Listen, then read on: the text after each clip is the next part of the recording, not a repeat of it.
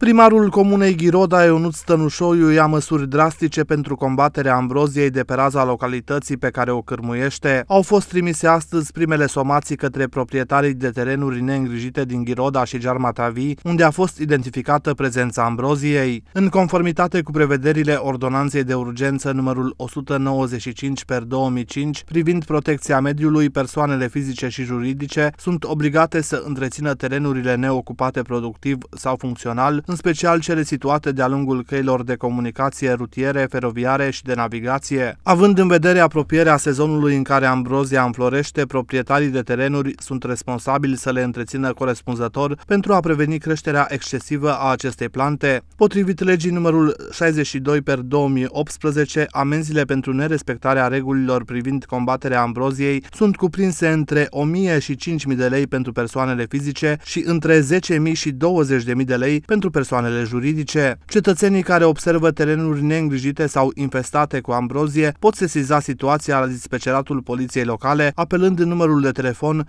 0743 161 868, disponibil 24 din 24 de ore, transmite primarul comunei Ghiroda Ionut Stănușoiu.